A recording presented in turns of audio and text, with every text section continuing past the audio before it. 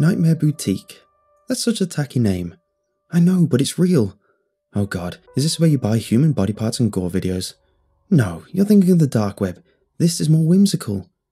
Whimsical, huh? How do you even get in? It's a 10 character combination of numbers and letters. After that, at .com, easy. But only at 3am? Only at 3 o'clock am. Ding! This is my floor. Okay, take care. I'll text you the link later. Bye. Was the voice reenactment really that necessary? Rod burst out laughing. Yep, of course, I replied. Now come on, would you please give me the combination? Alright, alright. But Aaron, you know these are all just office rumours, right? No way this actually works. That was true. They were all just rumours. Not very convincing ones either. But if I'm going to be totally honest on why I wanted this, it was simply out of pure curiosity. I just wanted to have a little spooky fun to get my spirits up in time for Halloween. It's because I wanted to. That's it. It wasn't dictated by destiny or orchestrated by malevolent higher beings. No, I refuse to believe that what happened to me was fate. But the longer I ponder, the longer I question why me? Why did I have to get stuck with this thing? The phone call with Rod ended around 2:45 a.m. On my right hand was the key to eternal happiness, a beer. On the left was the link written down on a piece of napkin. I had 15 minutes to decide if I wanted to go through this potentially terrifying and life ruining idea. I was about 50 50 about it, mind you. A bottle later, and it was a solid 100. I had nothing to lose. My parents hate me for not taking business. My girlfriend left me for trying to pursue voice acting, and my dog got swallowed by a snake last month. So, if there's an event in my life that would truly embody the phrase, screw it, this would be it. So, as instructed, my lights were off and every point of entry inside my house were closed, as to not invite any evil spirits in which I think was just a bunch of rat ass, considering why would they even need an open window to get inside? Anyway, I waited for the clock to strike three and bask in the ominous environment I set myself in. I got to say, waiting for a shop full of evil trinkets to open during the devil's hour was becoming less of a funny display of courage as seconds slowly trickled away. The link was already typed on the address bar. A few moments later, I realized that I wasn't really that drunk to proceed with it, so I chickened out. I was, however, drunk enough to mistakenly press the enter key instead of backspace. I looked at the clock and thought how convenient it was that I accidentally pressed it exactly at 3am. I felt my heart took a dive into my stomach. My fingers jumped away from the keyboard like I was grounded by a live wire. My body was frozen conflicted if I should wait for the browser to load the site or simply slam my laptop shut. I wouldn't be telling this story in the first place if the latter happened now, would I? The site was the stuff of nightmares, in which no one should even be allowed to speak. It used Comic Sans. I was appalled. It looked like it was a half assed elementary computer project after the teacher taught HTML 101 once the background was a tarred picture of a dark wooden board, giving it a cabin in the woods kind of vibe. The buttons were bright orange, and little bats fly out when you hover it. On the home page, it said, Nightmare Boutique in Times New Roman. Underneath it was a nifty little welcome blurb. Welcome, children of the night. This is Lady Wimlock's Nightmare Boutique.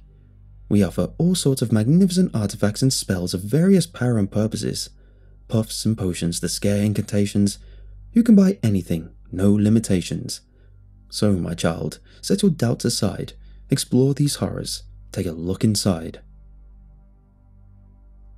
The go button below the passage was blinking erratically, almost alluringly, hypnotizing. It must be the alcohol, but I don't remember my hand returned back to my mousepad and moved the cursor to click it.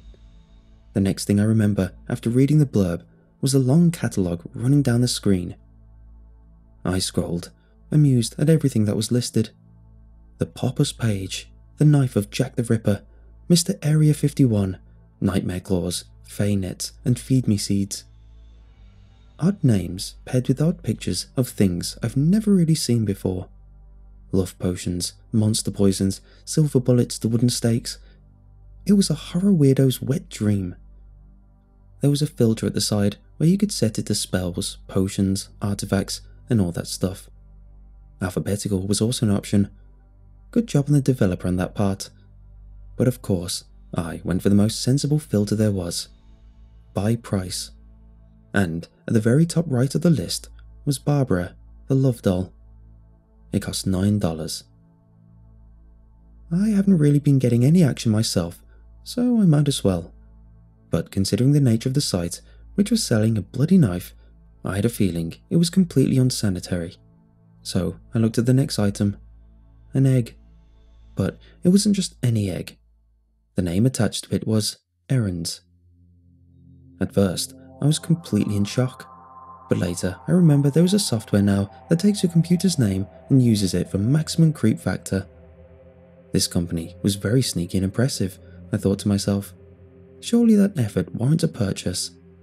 Also, I was psyched to see Rod's reaction when I show him I bought something from the site, which is an overpriced egg, which just further cements the fact that I'm not good at making smart decisions.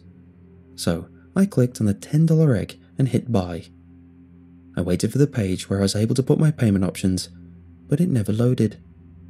Instead, the site closed. Well, that was just one big bunch of bull. Knock, knock. I stopped mid sentence. I've never turned my head that fast before. I got up, fixated at my front door. Who's there? I asked from the safety of my dining room. I got no response. I walked towards the door with legs wobbling like my 90 year old grandma. I pressed my ears against it, only to hear horses galloping away from my house. I stepped back in shock, bracing myself before laying my hand on the doorknob. You can do this, Aaron. Come on. I made little hops to shake the fear away. I quickly opened the door like how one would rip off a band aid. The cold wind swung on my face. Outside, there was no one but there was something. A large parcel about three feet high and two feet wide. On top of the parcel was a sticker. To Aaron Hemingway, from the Nightmare Boutique. What in God's name is happening? I muttered to myself as I frantically went back to the dining room and refreshed my laptop. The site can no longer be accessed. I opened the fridge and consumed a whole pitcher of water showering myself wet in the process. I must be dreaming, I told myself. I went back to the living room and checked on the front door. My alcohol tolerance must be getting weak, but I swore I saw the box move. I slapped myself in the face, confirming I wasn't asleep. I took a deep breath and marched to the front door and dragged the package inside the house. I grabbed a box cutter to release the packing tape I took my right hand inside the space between the two flaps of the box and I held the blade on the other. I was ready to shank whatever was inside the box if it decides to pop up. My heart was racing and my face was a waterfall, but I still opened it to see what was inside. It was an egg. A huge one, bigger than an ostrich egg, but not as big as your typical chair I tore down the box to make sure I wasn't just mistaken. The egg was on a black stand with an intricate design, one with tentacles almost wrapping the base. I knocked on the egg to make sure it wasn't made of plastic or metal. It was made of an actual shell. I started to chuckle. No, I'm dreaming. Yep, I'm definitely dreaming. I walked out the living room and went upstairs, convinced that none of what happened was real and then when I wake up, I'll be spending my Saturday as usual. Now, if you've never experienced waking up in the morning only to be greeted by a three foot tall egg cracked open with its contents inside and nowhere to be seen, then let me walk you through it. At first, it was a feeling of disbelief, knowing that everything that happened before you went to bed wasn't just a fever dream. Next, you feel a sense of awe, amusement at the size of the thing. Then you feel kind of worried thinking whatever came out of there was no chicken. Last is the pure terror of having to look around on where it went, only to hear something growling inside your living room. I backed up to my kitchen when suddenly yellow glowing eyes peeked from underneath the couch. I took my eyes off of it for a split second to locate my knife when I heard it scuttle away. Out of panic, I was only able to grab a spatula to fend for myself. It was a blur zipping across the room, climbing the walls and ceiling. I fell to the floor, praying for some kind of divine intervention to save me from whatever was running around my house.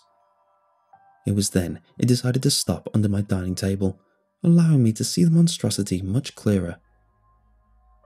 It was like a baby, if babies came from hell.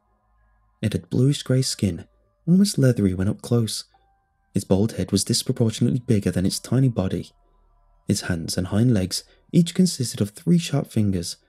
Its eyes were yellow and beady, patterned with a lateral pupil like ones of a frog. The winning feature it had big, vertical slits on its face for a mouth, stretching from its forehead down to its chin. It took a couple steps closer, eyes locked on me. Interestingly enough, it pulled back the moment it almost went outside the shadow of the table. Not a fan of sunlight, I told myself. I was curled into a ball in the corner of my kitchen, pointing my wobbly and useless spatula at this monster. I waited for it to lunge at me and feast my brains and innards when the most peculiar of things happened. His lips, if you want to call it that, slowly opened, separated, revealing layers upon layers of pink flaps. I couldn't help but notice that the sharp teeth were only just starting to protrude out of its gums. Saliva started to drip down from its mouth, and, in a raspy but high pitched voice, it spoke. Papa. I called him Bulby. Yes, I gave the little turd a name. It was all because of his absurdly bulbous head. I know that keeping it was multiple levels of wrong. Some people might even think that the first real thing to do in that situation is to upload a video of it online. Be rich for discovering this horrendous monster. But the reason I have for not doing so is all thanks to the first word that came out of its disgusting mouth. As I said, I don't really have the most enviable life, and to be able to hear someone call you Papa like you mean something kinda has a certain effect if you're placed in my position. I cared for Bulby for quite some time. I didn't really struggle to figure out what it can eat. I just started throwing cheap steak and he devours the damn thing in seconds. It was awkward at first, but he eventually figured out that he was supposed to throw the ball back and not puncture it with his claws. Eventually, I had to teach certain things only special to him Apparently, he hates the sunlight, but he doesn't burn like a vampire. I still had to leave for work in the morning, so I made sure to show him places in the house he loved shade, like the closet, the bed, the attic, and the basement. It didn't take long before I noticed he was growing exceptionally faster than any living species I know of.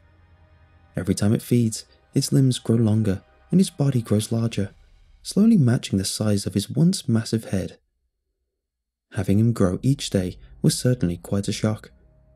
He started out quite cute at first, with very childlike features. But as he grew older, the more I get to remind myself that Bulby isn't just some new creature. It was a creature I got from the Shop of Horrors. And he did quite a fantastic job of reminding me just that. It happened at night. He was living under my roof for about two weeks I woke up to the sound of shuffling on my wooden floor. I can never get used to the usual bumps in the night with Bulby. I keep forgetting that I was living with a monster. Bulby, what was that? I cried out.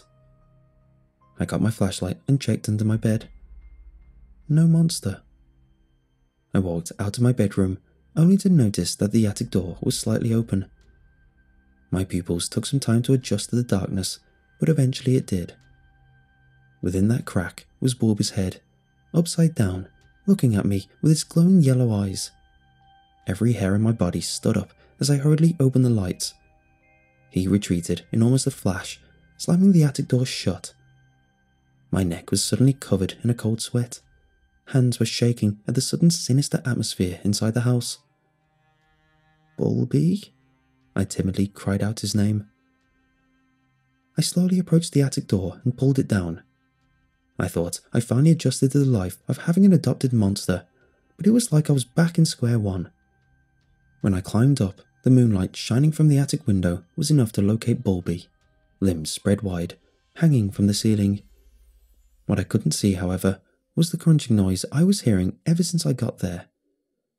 I foolishly shined my flashlight at Bulby, with no preparation whatsoever to what I was about to see. He was chewing on an arm. A severed human arm. Not just any arm, though. The size made it obvious it was of a child. Blood was smeared all over his face and was dripping down to the lumps of crimson flesh scattered on the wooden floor. Directly below him was the head of a child, one which I recognized despite having a large chunk of its head bitten off like an apple. It was Oliver, the only son of the Dansons, my neighbour next door. Papa, Bulby spoke in the same raspy voice, but this time deeper and unsettling. It caused him to drop the arm and flop on the pool of blood, splattering some on my feet and pajamas. He climbed down from the ceiling and approached me, lowering its head. It was asking for me to pat him. I did so almost immediately, but not for the same reasons why I did it when he was only a child. This time, it was from fear. I had no experience in training a monster to not eat humans. It's simply not as easy as dogs. Every night he hunts and grows. Every night a new kid in the neighbourhood goes missing. Little Sally, little Tim, and even not so little Andrew, who weighed tons. He still managed to consume like cotton candy. Now, you might judge me on the next set of things I did, but I trust you understand why. For example, accidentally stabbing him with a knife or chopping some steak. It didn't work, for his skin is as tough as diamonds. Also, I accidentally showered my boy with gasoline and set him on fire. He shrugged it off like a dog after a bath. I have come to terms that Bulby is in fact immortal. If he does happen to have a weakness, it wasn't readily available for me to use. And so I thought, if there's going to be a place where I can get a weapon to end this monster's hunting spree, it would be the same store it spawned in the first place. Yet again, I browsed the Nightmare Boutique, and believe me, they have lots of suggested items for me to use. Given that I had no full information on what Bulby is or is capable of, I needed something that would surely get rid of him, no matter how you look at it. I couldn't trust poison, I couldn't trust bullets, so I bought a page from a spellbook, one that would certainly get rid of him once and for all. Unfortunately, it was a spell that required two people two blood offerings. Luckily for me, I know the best person to help me with the job. You named your vagina monster after a Pokemon? Rod shouted from the other line. No, what? Ugh, so are you in? I asked him. I don't know, man. Sounds intense, Rod replied. It was pretty obvious he was scared and overwhelmed just by the sound of his voice. The loud footsteps gave away him pacing around his apartment, too. I really don't know what to do, Rod. My voice cracked. Kids are dying. I had to mop their guts in my attic for a week now, and it's just too much for me to handle. My eyes were starting to well. I feel like I don't have anyone to turn to at this point. There was only silence between the phone call after that. Then, Rod let out a deep sigh. You have me, Aaron. Remember that. I didn't have any doubts if the ritual was going to work. The monster in my attic was enough proof that whatever I get from that accursed site must hold some value. Rod winced while cutting his hand. Couldn't blame him. That made it look so easy on television. We drew half of the circle where Bulby was going to stand. We lit the 13 candles and put it around, and must wait for midnight to come before activating the spell we would have to put out all of the candles when he's in the middle of the circle. If all of that sounded crazy, I'm with you. I should have checked the description before I got this thing, I mumbled. Yeah, not to mention how they somehow managed to charge you from your card without you ever sharing it to them. Wait, what? I was a little surprised by Rod's answer. Uh, nothing, he nervously smiled. So, where's this monster of yours? Do you really want to meet him? I smiled. Rod simply faked a laugh before swallowing his spit. He was sweating ever since he got inside the house. I proceeded to turn off the lights, only leaving the warm orange glow of the candles from my living room. Bulby! I shouted out. It was like a nightmare. He first revealed his head, adorned by his wide, glowing yellow eyes. His long limbs then stretched out from the darkness of the second floor. It had an incredible length that it managed to skip the whole set of stairs.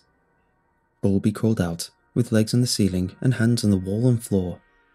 He tilted his head, looking at Rod, who was very much a new person to him. Aaron? What's he doing? Shh, don't make any sudden movements. Bulby approached us, wary of the strange circling candles in the middle of the room. He walked past me, more interested in my friend. He crouched down to meet face to face with Rod. Aaron, what? He whispered, almost crying. Although frozen in fear, he was shaking like a small dog after a cold bath. Stay calm, I told him with vigour. But Bulby had a few tricks he wanted to show Rod. He started to open his mouth, revealing thousands of his rotten and sharp teeth. Rod let out a blood curdling scream that would have surely awakened the neighbours. This only got the monster rolled up as he shrieked as well, prepared to attack.